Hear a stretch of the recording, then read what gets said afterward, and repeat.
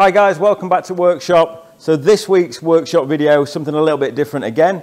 Uh, we're going to be looking at what we're doing, and this week's all about this car here. We've kind of took the engine out, uh, we've removed all the seats, the dash, the differential. Uh, we've got two weeks on this car.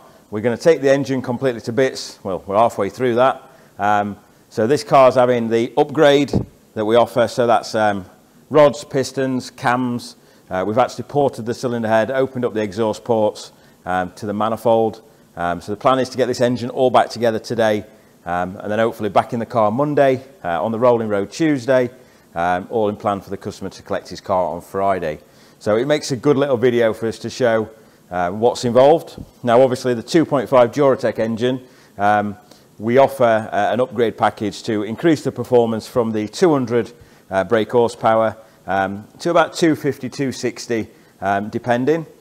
Now, obviously, what that gives um, is a lot more power um, from the mid-range to the top end, really expands the, the power up to about 7,000 RPM, which I guess is limited by um, the engine fundamentals in terms of its long stroke and piston speed.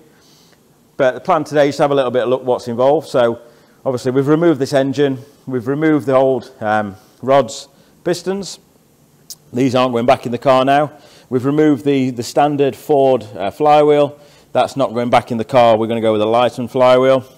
So the standard cams, obviously it's a twin cam engine, so it's got two cams. Um, they're not going back. Head bolts are going to be replaced by ARP head studs, which are currently in the new block. Um, also going to upgrade um, the flywheel, as we say. So this is a, full steel lightened flywheel.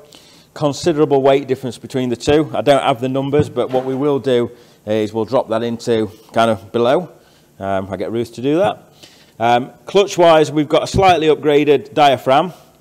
Now, as we're pushing the boundaries in terms of power, we're also increasing torque. So it's important that with this engine option that we offer, um, we, we provide enough clamping force. So we do that by an upgraded pressure plate, but also by the clutch plate material itself. So you'll notice here we've got a clutch plate that's got two different materials. So it's got an organic material on one side, uh, which is what you'd kind of find in your standard road clutch. Um, but then on the other side, it's got a more sintered um, paddle structure. Now this gives you the best of both worlds. It gives a, a really nice amount of torque holding, but it actually provides a really nice pedal. You don't get all the associated um, judder that you would just have a paddle plate. Um, so that works really well, and we've tried and tested this now on an handful of cars, and we know that works really, really well. Okay, what we've got here um, is the rest of the engine to go together.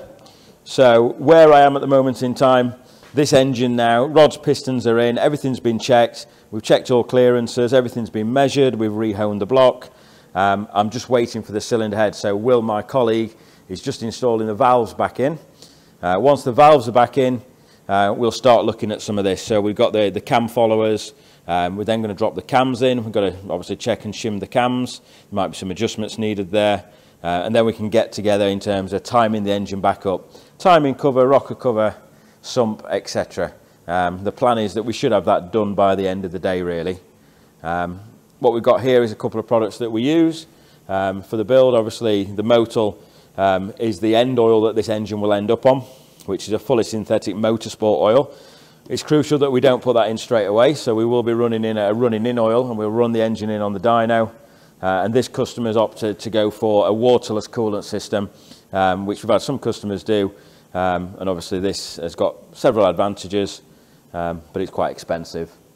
Um, yeah, so if we have a look at what's going on on my desk, not a great deal at the moment in time. I'm just waiting for the cylinder head, but we've got the new cams just here. So we've got um, obviously two cams. The exhaust cam um, is made from a, a cast iron um, piece and then obviously it's machined whereas the inlet cam is a full billet cam and the reason it's a full billet cam is because this is a 2.5 it has the VVT and the VVT um, needs a special cam that obviously allows oil to flow through um, and also it supports the, the, how it mates to the VVT mechanism as well as the trigger wheel.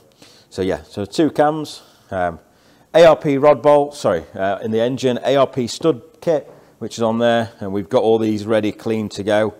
We've got a selection of lubricants as we obviously assembling the engine. We're using an assembly lubricant, and this is the oil that we'll initially run the engine in.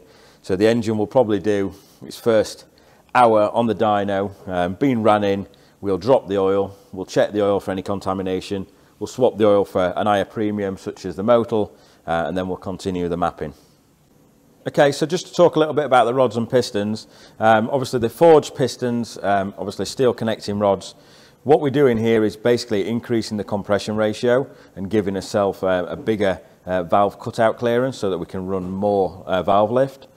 Um, so if I just spin this over, obviously, we're retaining the same bore. Um, and then here, as you can see, these are steel uh, rods, ARP 2000 bolts. So if we just come over to Will, Will's uh, putting the cylinder head back together. Last couple of days we've actually ported the cylinder head, opened it all up, um, lapped the valves. Will's just now putting all the valves back in, making sure everything's meticulously clean. But yeah, the head's looking in its basic form at the moment in time. Hi, welcome back. So we're a few days on now. Uh, we've kind of skipped a few sections, unfortunately. So towards the back end of last week, uh, we kind of got it more or less together, put the cams back in, um, and then obviously when we got to shim the cams, uh, as per normal, we realised that we needed to order some different buckets. So obviously we've ordered different buckets for the cams, everything's been shimmed up. The engine's now been put back together, um, but we're on a bit of a time scale, so we've not had much time to film as such. So we're in a position now where the engine is pretty much ready to go back in the car. Uh, next job, we're going to mount the engine to the gearbox. Um, just talk about some bits that we've done. So the engine itself, um, flywheel. We've now gone a light and steel flywheel, upgraded the clutch as we saw already. Um, we've put the provision on for the oil cooler system. So we've got an oil cooler takeoff that's here. Found that easier to put on before it goes in the car. We may take the filter off, but it's just on just to protect it at the moment in time. Um, but yeah, the, the new water rail, or the revised water rail, which utilises the original 2.5 um, casting, um, it's going to go on back onto the car. Um, that combined with the 60 mil core radiator. Um, so the customer's going to have a whole new coolant system. Uh, what we've done on this car, because it's a high performance um, variant, we've gone with a lower thermostat. So um, these are normally 98 degrees. The one we've put in here is uh, 82 degree, um, just to keep the engine nice and cool. Um, upgraded the spark plugs, um, they're all in. So engine's fully checked. so next job, we'll get it in by the end of today. should all be good and then on the dyno tomorrow.